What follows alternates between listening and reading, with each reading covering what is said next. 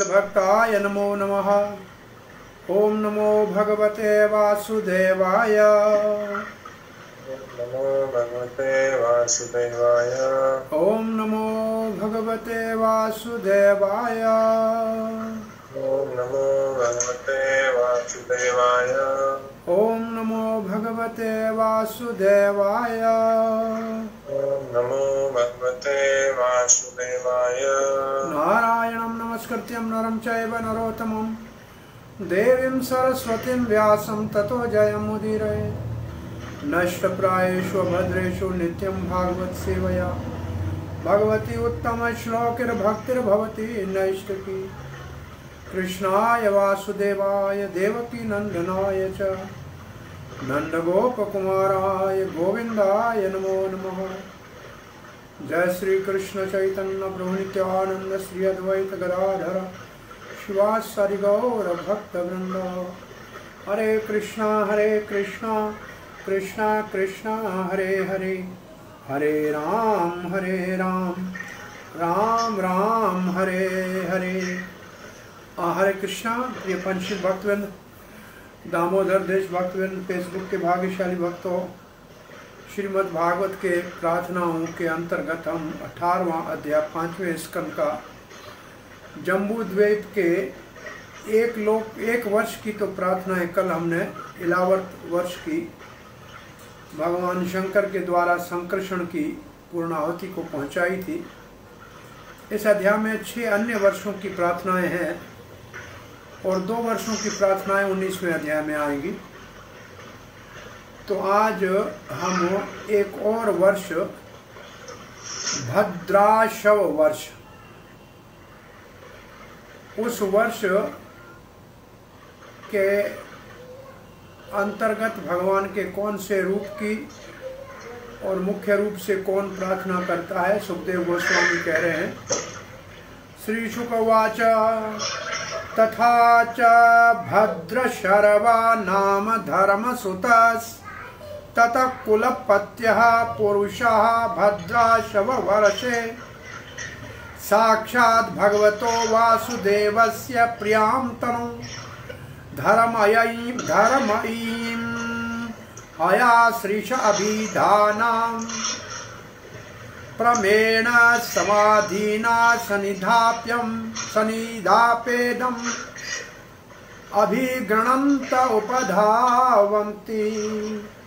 तथा, सुखदेव महाराज कहते हैं, तथा च इसी प्रकार जैसे मध्य में जम्बू द्वीप के इलावर्त वर्ष है, अन्य आठ वर्ष अलग अलग पर्वतों से अलग किए हुए हैं, एक और दूसरे के बीच में कुछ पर्वत हैं। तो एक और वर्ष है जिसका नाम है हाँ जैसे जैसे एक पहले बताया गया, भगवान शंकर जहाँ संकर्षण की उपासना करते हैं इलावर्त वर्ष, ऐसे एक भद्र शर्वा भद्र शर्वा नाम है।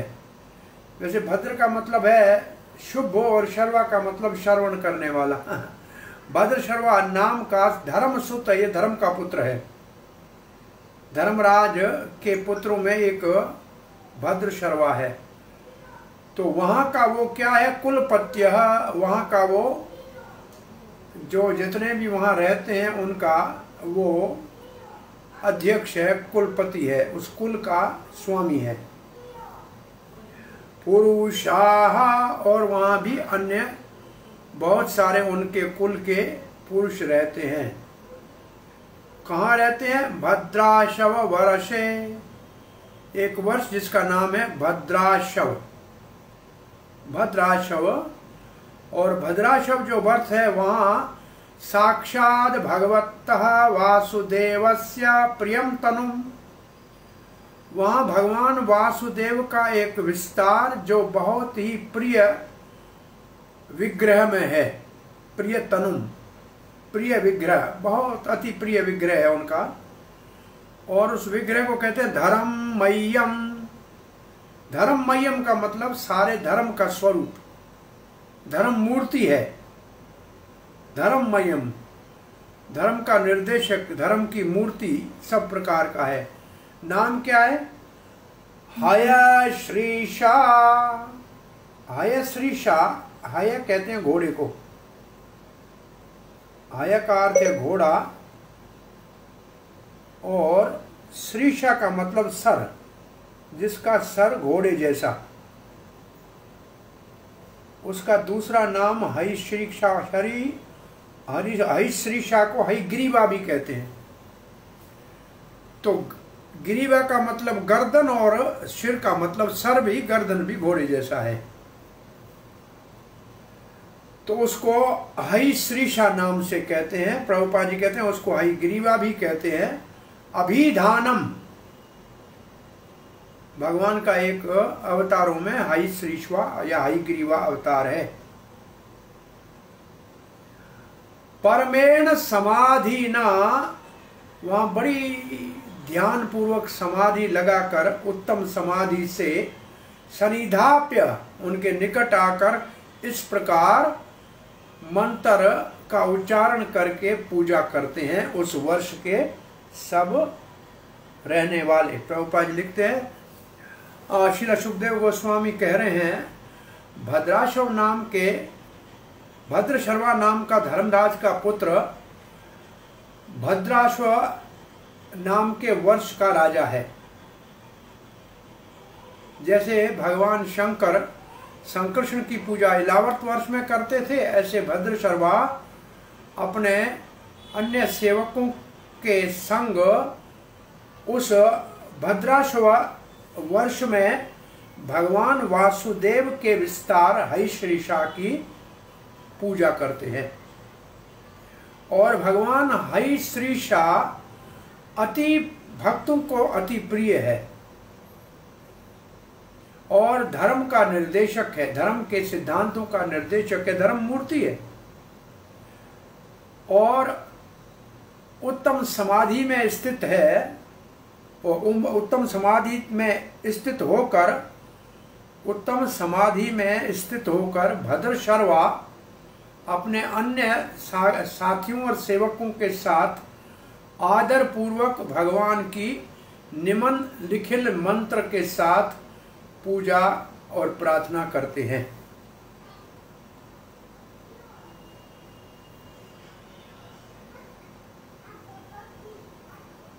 तो हरिग्रीव भगवान और आगे छह और वर्षों का वर्णन आएगा इस अठारहवें अध्याय में। आप प्रभुपा जी का तात्पर्य नहीं है, वो प्रार्थना क्या करते हैं, वो श्लोक पढ़ते हैं।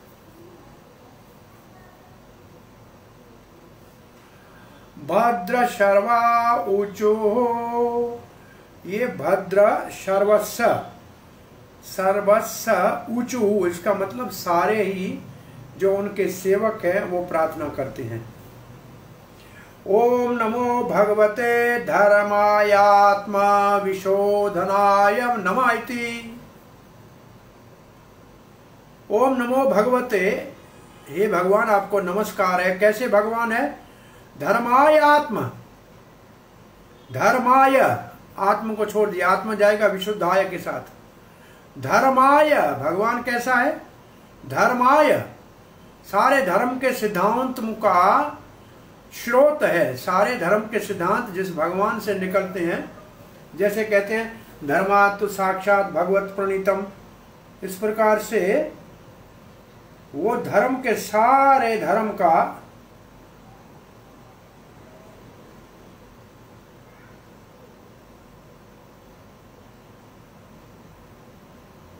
सो, अब अब जो शब्द है, आत्मविशोधनाय नमः, ये महत्वपूर्ण शब्द है। श्री प्रभुपा जी का तात्पर्य शब्द के ऊपर है। आत्मविशोधनाय, इसका मतलब जीव का सारे भौतिक कलमशों को धोके पवित्र करने वाला भगवान। नमा इति, उसको नमस्कार करते हैं। ओम नमो भगवते धर्माय आत्मविशोधनाय नम इति। आगे पीछे दोनों नमा है, नमस्कार है, और भगवान धर्म के सिद्धांतों का स्रोत है, और जो उनको नमस्कार करते हैं, उनकी पूजा करते हैं, उनके सारे पाप, ताप, संताप, भौतिक भव रोग को साफ़ करके पवित्र कर देते हैं, विशुद्ध कर देते हैं।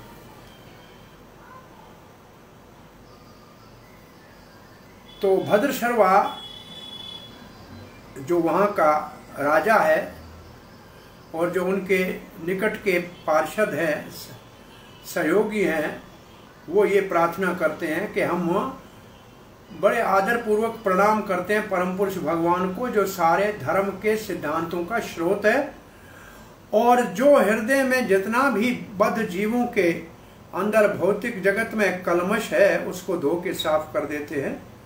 बार बार ऐसे भगवान को हम श्रद्धा पूर्वक प्रणाम करते हैं। भद्र सर्वस्व इसका मतलब भद्र शर्वा के अनुयायी। और भगवान को कहा गया है, वो पवित्र करने वाले हैं। अज्ञान जीवों का जो अज्ञान का अंधकार है, उसको भगवान नाश करते हैं। अब शिल प्रभुपाद लिखते हैं, मूर्ख, भौतिकवादी,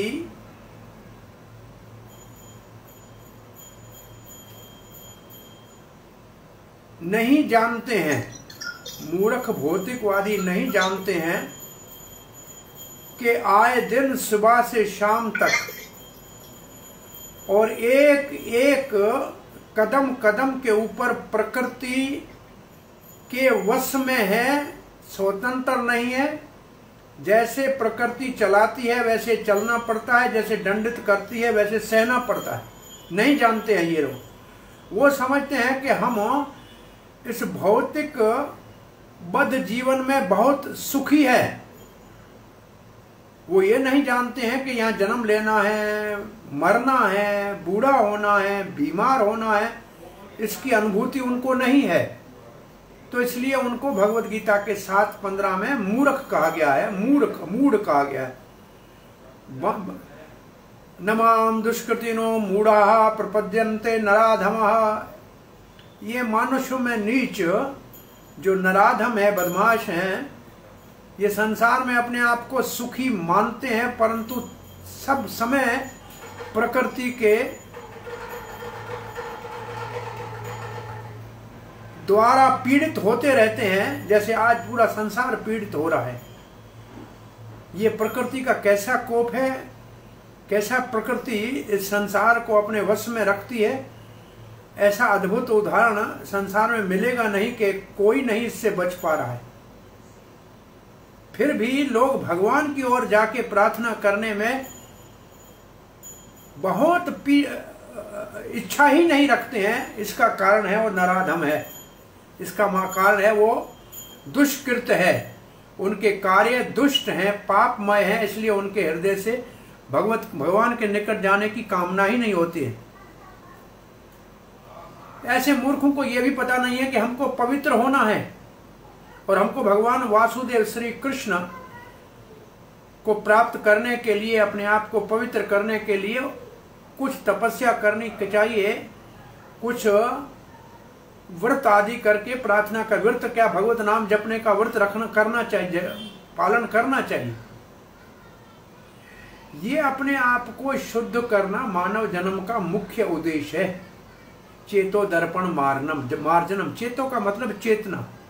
हमारी चेतना है दूषित। इस चेतना को पवित्र करना ये हमारे जीवन का लक्ष्य है। ये जीवन हमारा अंधा धुंध बिना सोचे समझे इंद्रिय भोग में पशु की तरह नहीं गंवाना है। मानव जीवन में ये इतना बड़ा सौभाग्य है हमारे को कृष्ण भावना के कार्य में लगकर अपने आप को पवित्र करना चाहिए।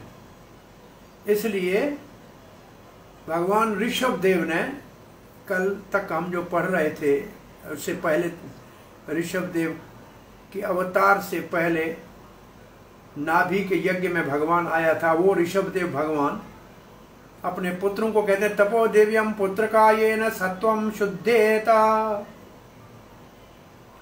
और बड़े पुत्र का नाम भारत है और सौ पुत्रों में भारत पुत्र को संबोधित कर रहे हैं। भारतवर्ष के लिए ये शिक्षा है।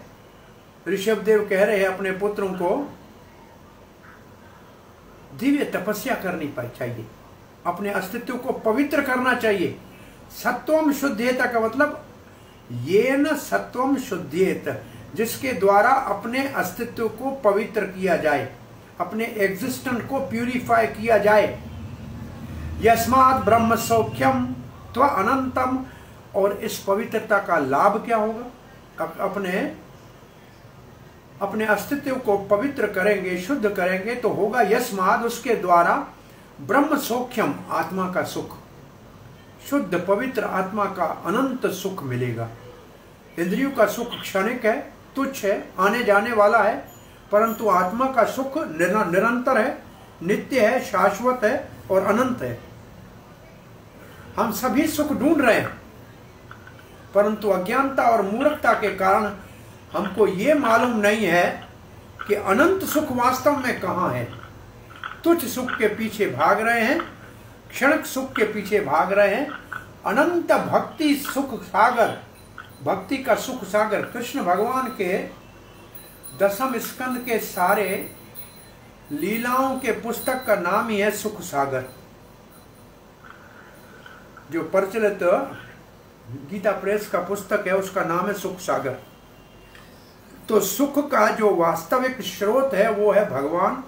उसका नाम, उसका गुण, उनकी रूप, उनके लीला और उसके द्वारा हमारा हृदय जब शुद्ध होगा तो वो सुख हमारे अंदर से ही हृदय से उत्पन्न होगा।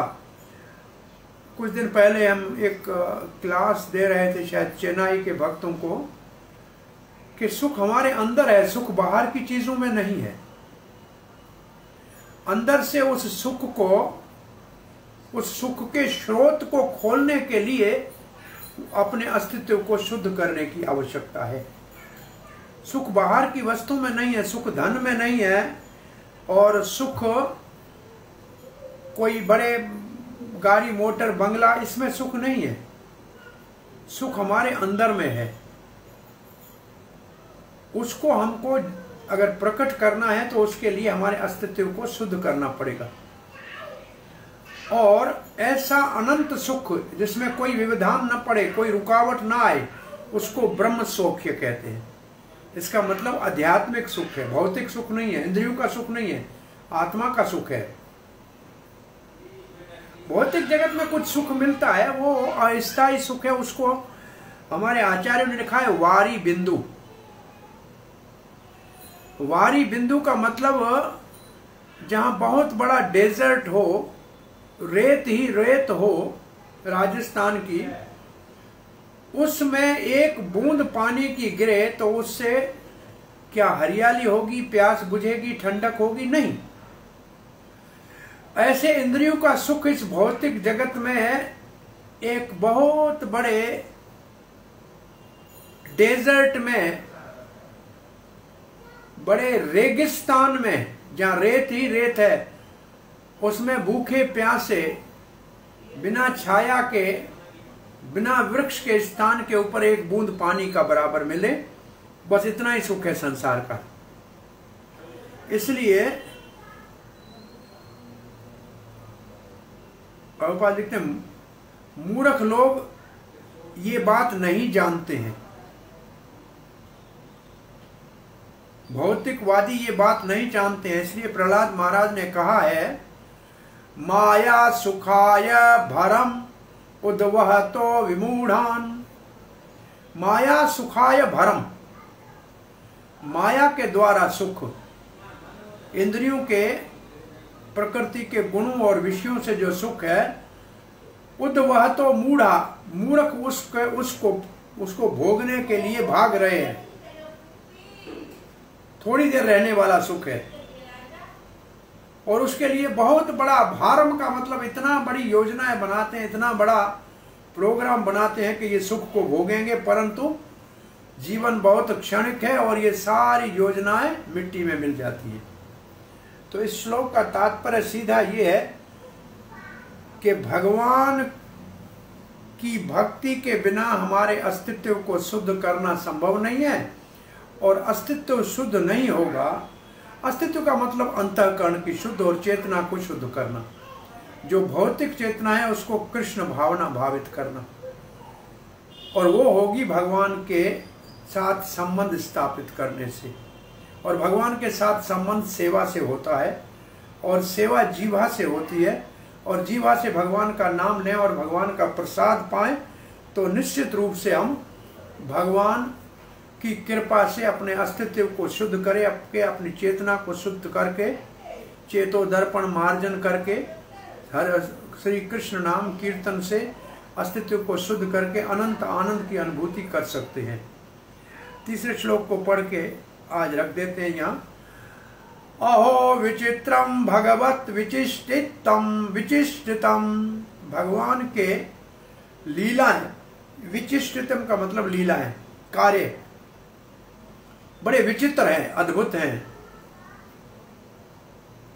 घनंतम जनो अयम ही मिशम नो पश्येत। परंतु ये संसारी लोग घनंतम का मतलब मृत्यु, वैसे घनंतम का अर्थ होना चाहिए मर, मरना, समाप्त होना। मर रहे हैं संसार में लोग। मिशम न पश्यति, देखते हैं परंतु समझ नहीं पा रहे हैं।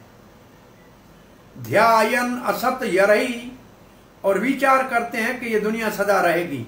विक्रम सेवितम और जो नहीं करना चाहिए उसको कर रहे हैं। निर्हरत्य पुत्रम पुत्रम पुत्रम पित्रम जिजी विषत्ता इसका अर्थ है कि पित्र मरता है, पिताजी मर जाते हैं आँखों के साथ जाके उसका अग्नि संस्कार करते हैं और फिर भूल जाते हैं, केवल उसके छोड़ी हुई धन दौलत को भोगने में लगते हैं। और ऐसे पुत्र भी जीते, जी पिता के मर जाता है तो उसका बचा हुआ जो भी संपत्ति है उसको भोगने लग जाता है। प्रभुपाद ने तो और कुछ भारी लिखा है। परंतु यह पुत्र के मरने का जो प्रसंग प्रसंग है तो ये भद्राशो वर्ष में नहीं हो सकता, क्योंकि वहाँ अंतिम एक साल में पुत्र होता है उसके मरने की संभावना नहीं है। अन्य लोकों में पृथ्वी को छोड़कर पिता के जीते जी पुत्र का मृत्यु नहीं होता है। तो ये हमारे सामान्य इस पृथ्वी लोक का वर्णन है। तो इस वर्णन को यहाँ विराम देते हैं क्योंकि दो तीन मिनट है उनको फिर कनेक्ट करना और उनसे उसका आया है। आ, अभी तो उनकी लिंक नहीं आई। हरे कृष्ण।